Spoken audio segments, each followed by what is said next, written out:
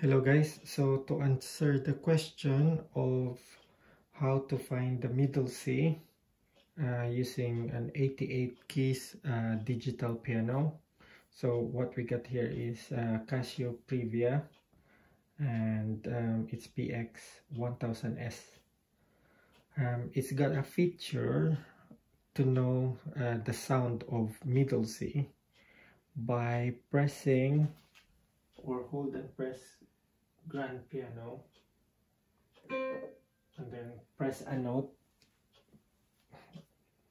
around this area and you can hear that that's the middle C.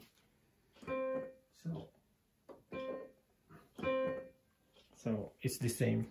Now we know that this is middle C or you can simply count the white keys up to this area which is 24 1 2 3 4 5 6 7 8 9 10 11 12 13 14 15 16 17 18 19 20 21 22 23 24 so that's your middle C. So if you want to put uh, stickers on your piano or digital piano if you're starting to learn or your kids are starting to learn then you put C here and that would mean that it's C, D, E, F, G.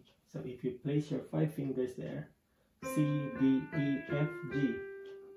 Okay? And then going downwards is your C, B, A, G, F, E, D, C. So it's the same going upward. C, D, E, F, G, A, B, C. So your um, second octave for your C then your lower octave of C is down here. So again, C, D, E, F, G, C, B, A, G, F, E, D, C. So that's it.